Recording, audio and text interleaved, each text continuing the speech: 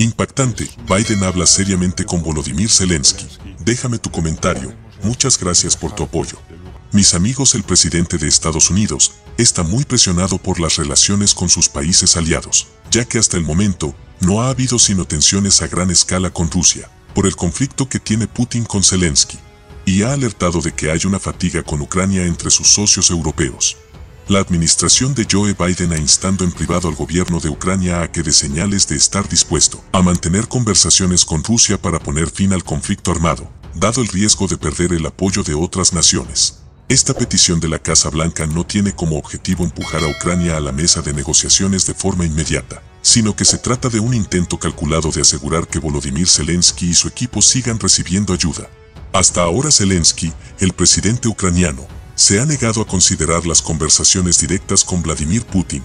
Su argumento es que Ucrania hablaría con Rusia solo si Putin es depuesto, algo que dista mucho de ser factible, dada la actual estructura de poder en el Kremlin. Citando fuentes propias en la Casa Blanca, que Biden cree que la negativa de Zelensky de entablar conversaciones con Putin causa preocupación en socios de Europa, África y América Latina, donde los efectos del conflicto en los precios de los alimentos y el combustible se sienten con mayor intensidad.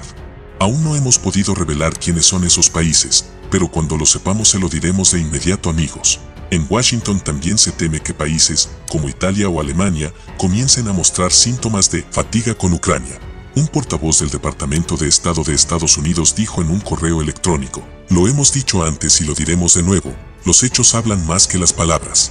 Si Rusia está dispuesta a negociar, debería detener sus agresiones y cohetes y retirar sus fuerzas de Ucrania. El Kremlin sigue intensificando este conflicto. El Kremlin ha demostrado su falta de voluntad para entablar negociaciones serias incluso antes de lanzar su ocupación a gran escala a Ucrania.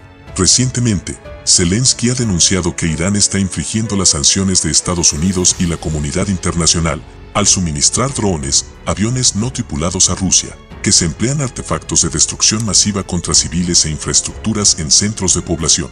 Sabemos con certeza que instructores iraníes enseñaron a grupos insurgentes rusos a utilizar aviones no tripulados, y Teherán suele guardar silencio al respecto, dijo Zelensky hace poco en un discurso a la nación.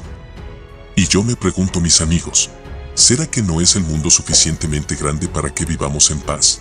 Dime tú qué dices.